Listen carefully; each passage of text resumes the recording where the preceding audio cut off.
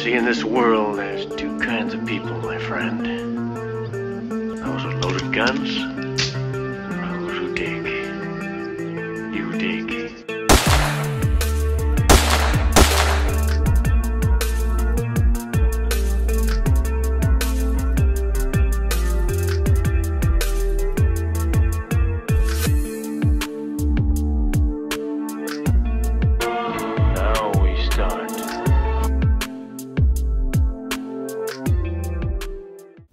à tous, euh, bienvenue dans cette nouvelle vidéo de Strike Team. Ça fait quelques semaines qu'on n'avait pas publié pour des raisons qui ne regardent que nous. Et euh, on repart aujourd'hui euh, sur euh, une nouvelle présentation, une nouvelle masterclass sur le credit spread, dans lequel on va aller regarder euh, les premières stratégies de vente d'options euh, avec ce fameux euh, credit spread. On va d'abord voir donc le, principe du, credit spread. On verra ra- très rapidement sur une slide euh, comment on gère le risque avec un credit spread. Et on ira voir euh, de manière un peu détaillée quelles sont nos possibilités de stratégie de sortie sur euh, les credit spreads. Alors je vais commencer par un petit rappel au niveau probabilité, toujours en se comparant avec le trading entre guillemets traditionnel, le fameux acheter et posséder, le buy and hold. Avec un exemple, euh, ici la- l'action que l'on nommera ABC qui cote 414 dollars. Lorsque vous achetez cette action, la zone de gain est euh, au-dessus du cours d'achat, donc 414 dollars, et la zone de perte est euh, sous euh, cette cotation, sous ce prix de 414 dollars. Ce qui, euh, une fois que vous êtes rentré en position, ce qui signifie qu'en termes de probabilité, vous êtes à 50% de probabilité de gain et 50% de probabilité de perte, soit euh, un 50-50, 50-50, euh, euh, 50 euh, chances d'avoir raison ou tort. Avec le crédit spread, ce que l'on va euh, chercher à faire, c'est augmenter cette probabilité d'avoir raison, c'est-à-dire d'avoir plus que 50% de probabilité de gain sur euh, un trade.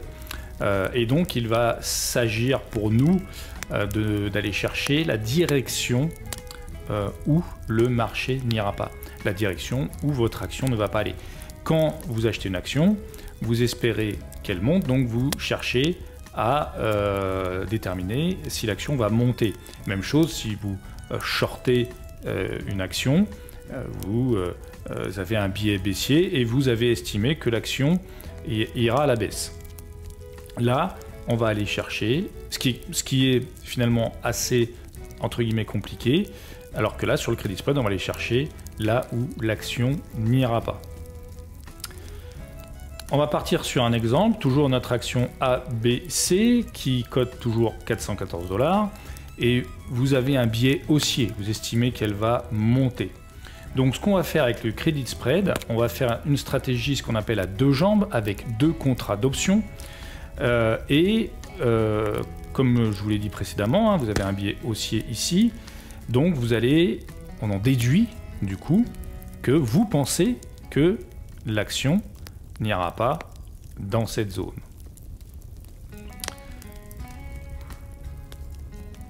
Du coup, on va mettre en place cette fameuse stratégie de credit spread à deux jambes en euh, achetant, en, pardon, en vendant un put en dehors de la monnaie, OTM, un put sur l'action ABC euh, avec un strike, un prix d'exercice à 360 dollars, donc en dessous de 414. Avec une échéance, on part sur une échéance à 3 mois, donc au 22 octobre 2021, et pour un coût euh, de 4,34$ par action. Donc, voilà, notre vente de put OTM se retrouve à 360 dollars. La deuxième jambe, donc, c'est un achat de put, toujours en dehors, la- en dehors de la monnaie, toujours sur ABC. Et là, on va le placer en dessous euh, de notre vente à 330 dollars, même échéance, et euh, pour un coût, un prix euh, de 2,39$ par action. Donc vous serez gagnant bien évidemment, si l'action part à la hausse, mais ce qui est très intéressant aussi, c'est que vous serez gagnant si l'action latéralise. Si dans 3 mois l'action est à 414 dollars, vous serez gagnant, là où avec le buy and hold, vous serez au mieux à zéro, voire légèrement en négatif. De même, si l'action baisse jusqu'à une certaine mesure, vous serez aussi toujours gagnant. Vous serez perdant à partir du moment où l'action partira vraiment à la baisse, sous, euh, par exemple, entre votre vente de put et votre achat de put, voire pire, si l'action tombe à zéro, euh, bien évidemment, vous serez euh, perdant aussi. En termes de calcul et de rendement, bah, vous serez gagnant, on l'a dit, entre euh, votre vente de put ici et toute la zone qui remonte jusqu'à ici. votre gain se fera par la différence entre ici la vente de put, donc vous êtes vendeur, donc vous recevez de, une prime de 4 34 dollars par action.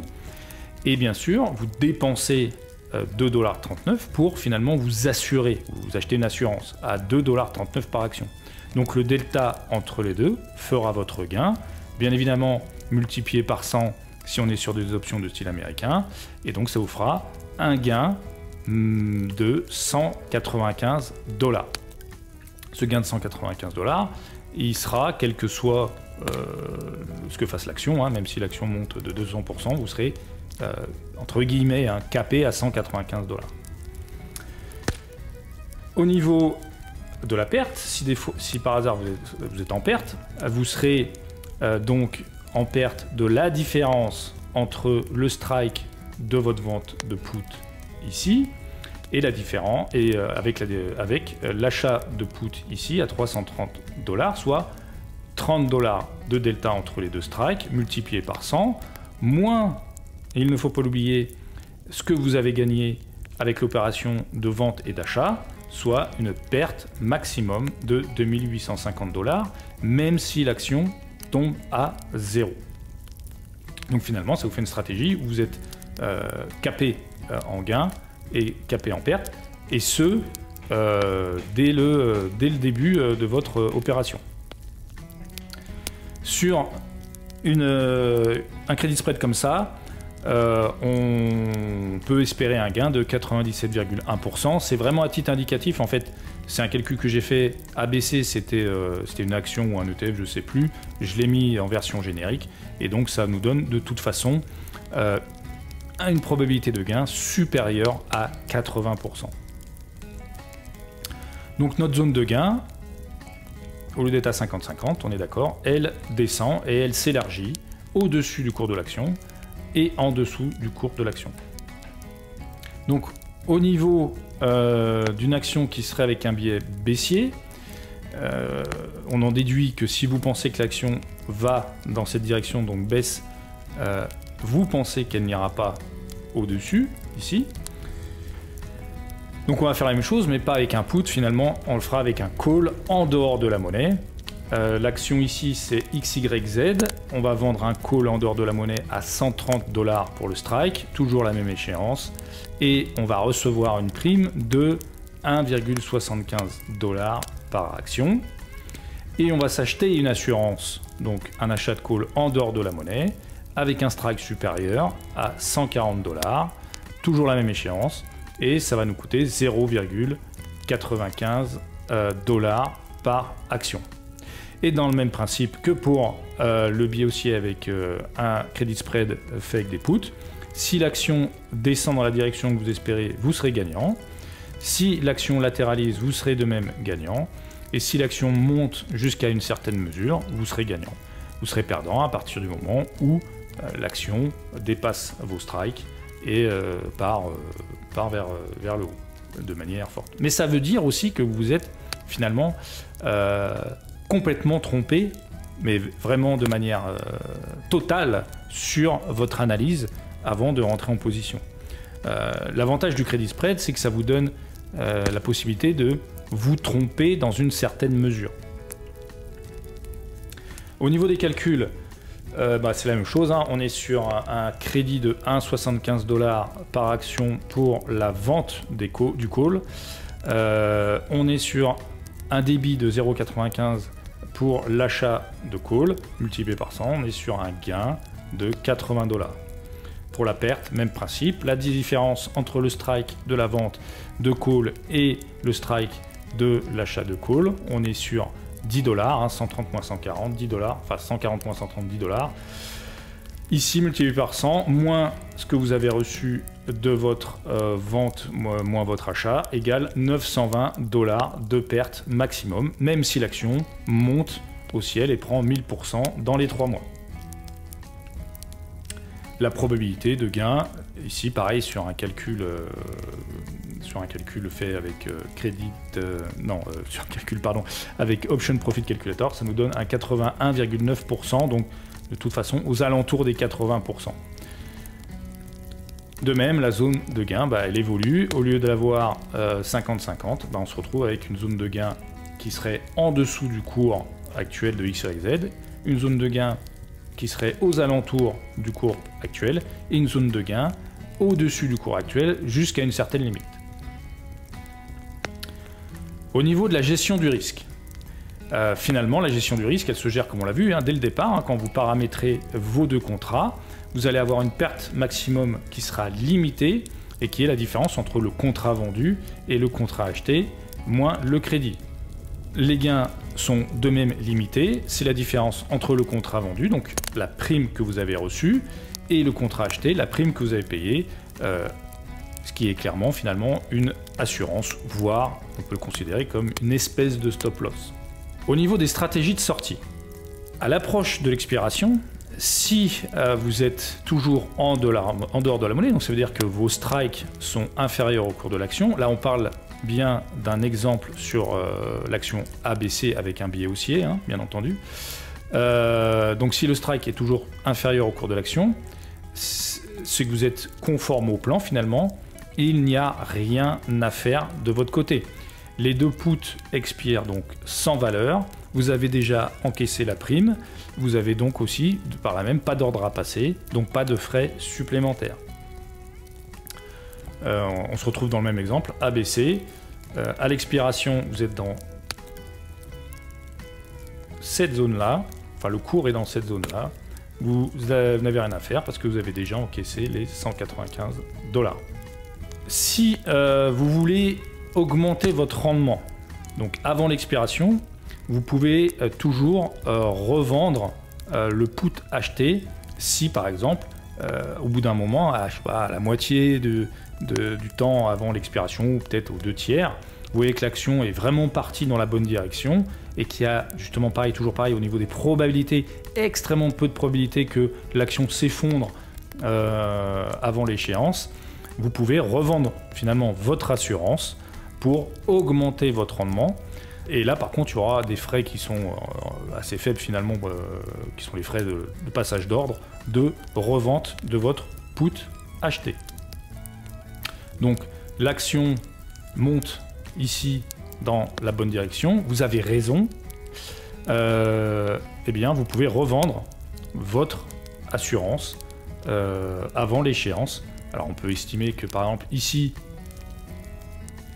on est ici, hein, il n'y a pas la suite, on est ici, et donc les probabilités pour que finalement l'action d'un coup fasse ça à vos échéances sont extrêmement faibles, bah, vous pouvez revendre à ce moment-là votre assurance pour augmenter la performance. Si en revanche vous vous retrouvez euh, in the money, c'est-à-dire que euh,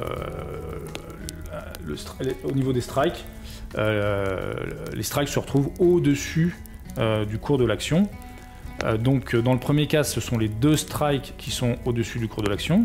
Bah là, vous prenez la perte maximum, qui est la différence entre les deux strikes, fois 100 moins la prime que vous avez reçue.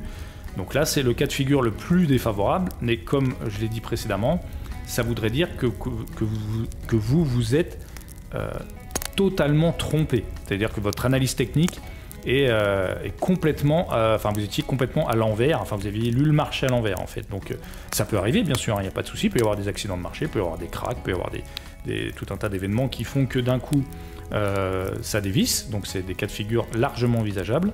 Néanmoins, voilà, hors cas exceptionnel, ça veut dire que vous avez eu le marché à l'envers, en fait, tout simplement. Et là, vous prenez votre perte maximum, mais pareil, perte maximum que vous connaissez au début de l'opération. Donc, on est là, euh, le cours est parti au plancher. Eh bien, vous avez euh, le delta entre euh, le strike du put acheté et du put vendu, multiplié par 100, moins ce que vous avez reçu, hein, la prime de 182 lag, et égale votre perte maximum. Le deuxième cas serait un peu plus technique. le strike du put vendu serait au-dessus du cours de l'action. Donc ça veut dire que l'échéance, ou proche de l'échéance, vous avez le cours de l'action qui se retrouve entre les deux contrats. Dans ce cas-là, vous allez pouvoir revendre l'option achetée avant l'expiration pour diminuer votre perte et racheter l'option vendue si elle n'est pas exercée. Donc ça donnerait quelque chose comme ça. On revend finalement euh, ce qu'on a acheté et on rachète ce qu'on a vendu pour euh, finalement entre guillemets liquider l'opération. On revend, enfin on, vend et on rachète et ça nous permet de limiter, limiter la perte si des fois l'action devait partir au plancher comme l'exemple précédent. Et enfin, si l'option vendue est exercée, bah, vous avez toujours la possibilité de, du coup, d'être exercé. Hein, vous devenez possesseur des actions euh, vous pouvez vendre l'option achetée plus le sous-jacent si vous ne souhaitez pas garder euh, l'action que vous venez d'acquérir par l'exercice de votre vente de put. Euh, ça donnerait quelque chose comme ça. On revend, donc on est exercé. Du coup, on devient propriétaire de ABC. Donc ça nous fait acheter ABC x 100, donc au cours du strike, donc 360, donc ça nous fait euh, débourser 36 000 euros pour acheter ABCD. Alors ça peut être un finalement l'option ABCD, si vous êtes dessus, c'est que c'est que peut-être que c'est une action avec des euh, fondamentaux euh, très très bons, c'est peut-être une, une, action que vous souhaitiez posséder mais à un prix, un prix intéressant, donc peut-être que vous pouvez vous faire une bonne affaire finalement et, et garder et garder, euh, garder la situation comme elle est. Hein. Vous devenez possesseur euh, de ABC, vous, espérez un rebond, et euh, c'est une valeur que vous vouliez acheter à long terme et que voilà, vous, avez, achetez via, via le crédit spread.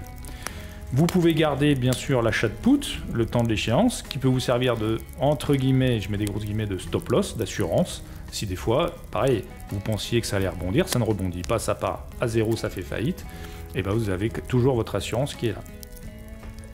Donc, euh, l'autre possibilité pour vous, c'est de euh, finalement, euh, vous voulez pas posséder ABC, ça vous arrange pas, donc vous revendez ABC au marché. Alors ça peut être majoritairement, les cas de figure, c'est plutôt en perte. Hein. si vous êêtes exercé à 36 000 ou en, enfin en dessous de 36 000 et que ça continue à baisser, bah, vous allez prendre un delta entre euh, ce que vous avez payé 36 euh, 000 moins euh, le cours actuel si ça continue à baisser. néanmoins, vous avez toujours votre put qui vous protège. mais si vous, comment dirais-je, vous, donc vous voulez vraiment revendre, pardon, l'action ABC, bah vous revendez l'action ABC au marché, vous prenez une perte et vous revendez aussi votre put acheté pour récupérer un, peu de, un peu de, pas un peu de performance, mais un peu de, un peu d'argent, tout simplement. Donc en conclusion, le crédit spread va vous permettre de augmenter votre probabilité de gain euh, sur un trade. Bien évidemment, plus vous serez en dehors de la monnaie, plus vous aurez de probabilité de gain, et aussi moins vous aurez de, gains aussi. Donc le risque rendement, plus vous serez en dehors de la monnaie, pardon, euh, plus le risque rendement sera faible, et plus vous serez au plus près euh, du cours, donc plus vous serez euh, proche de à la monnaie, plus vous aurez de risques, mais plus vous aurez de gains. Donc c'est pareil, c'est quelque chose qui est assez intéressant parce que vous pouvez vous-même paramétrer le niveau de risque que vous souhaitez, le niveau de rémunération qui va avec, ou et inversement, et vous pouvez comme ça, une fois de plus, finalement avoir un meilleur contrôle sur le marché et un meilleur contrôle de, votre, de vos trades. Et donc tout de suite, on va basculer euh, sur l'application du broker Lynx pour vous montrer comment, euh, sur un compte de démo, comment paramétrer ce fameux credit spread. A tout de suite. Donc on va regarder ce que ça peut donner euh, sur euh, notre compte de simulation, donc directement sur l'application d'Interactive Broker. Alors vous voyez là on a la page d'accueil, donc bon un certain nombre d'informations que vous pouvez évidemment euh, lire. Euh, là, en fait, notre, compte de simulation, il n'y a rien, il est, vide. Euh, mais donc, on va essayer de faire un, credit spread avec l'ETF qui suit le S&P 500. Donc, il s'agit du SPY. Donc, pour faire cela, on va prendre donc le SPY que j'avais mis moi déjà dans mes favoris, donc vous le voyez euh, ici. Euh, donc il y a un certain nombre d'informations sur l'ETF directement, que vous pouvez regarder avec attention évidemment. Donc comme on disait, il faut avoir aussi un avis sur euh, quand même sur la direction dans laquelle vous voulez vous mettre, si vous voulez vous mettre plutôt haussier ou baissier. donc là on va par défaut, on va se mettre haussier et on va regarder ce que ça donne sur euh, un, donc un crédit spread. Donc pour faire le crédit spread, vous allez dans Options. Euh, donc vous avez vu tout en haut. Donc vous avez donc liste de suivi, pardon, roulette, voilà, book, je ne sais pas trop ce que c'est, et options. Donc sur options, vous avez euh, les différentes échéances. Vous avez les calls à gauche et les puts à droite.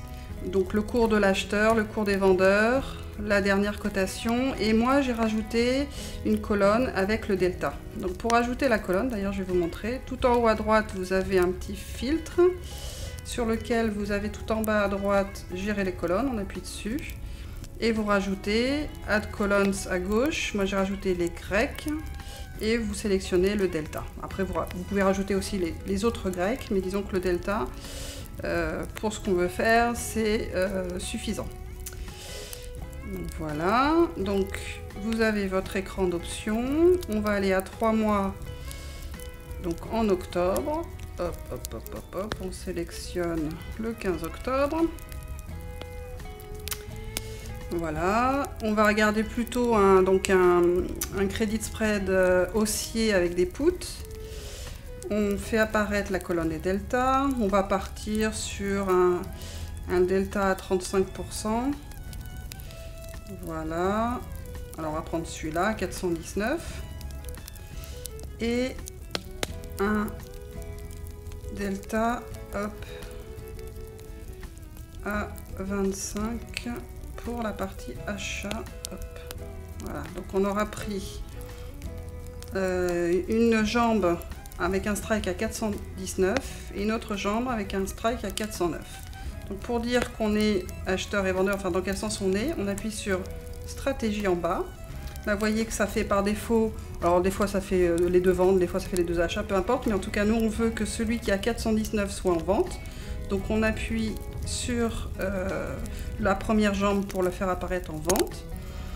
Donc il nous, il nous répète que c'est une échéance à 15 octobre, le strike est 419, c'est un put, et il nous met en fait les deux, euh, deux euh, bidéasque, donc le 945-947 pour la première jambe et 702-705 pour la deuxième jambe. Donc euh, prime du combo euh, estimé à 2,40 en crédit.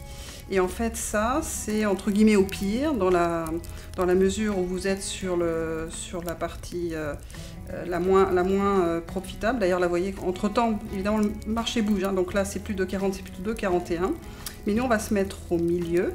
Alors attention qu'ici, euh, les données ne sont, pas en, sont pas en temps réel, hein. donc euh, il peut y avoir aussi des petits, euh, des petits jeux à faire à ce niveau-là.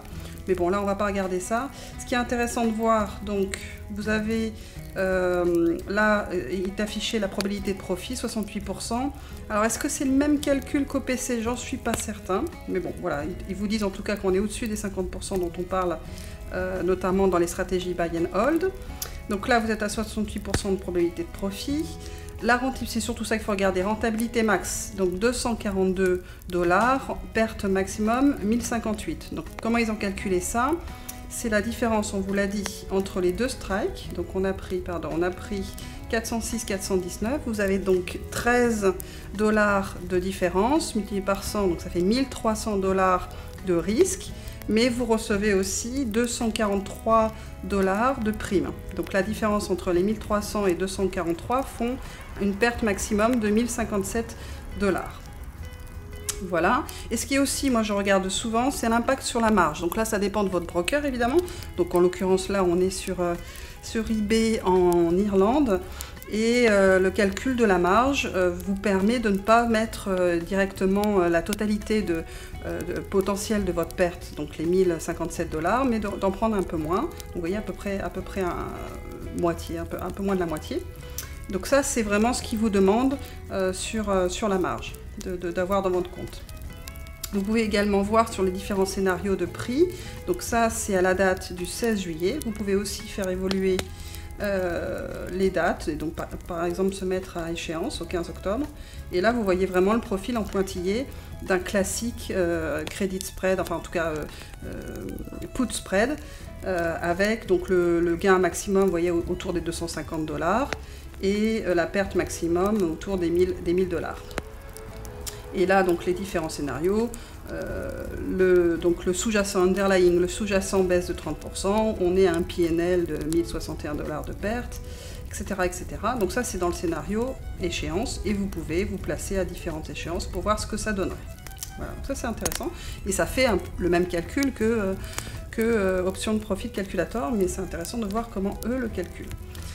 Donc voilà, vous vous mettez, je disais, euh, en 1000. Donc vous voyez, entre-temps, ça a encore bougé. Donc hop, on se met à 2,42 et on fait glisser ici pour soumettre un achat de crédit spread.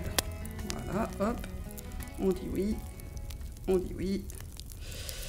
Et on est soit exécuté, ordre en cours, une alerte de transaction. Voilà, on peut aussi recevoir une alerte de transaction par SMS, donc j'ai pas envie. Bon, ordre en cours.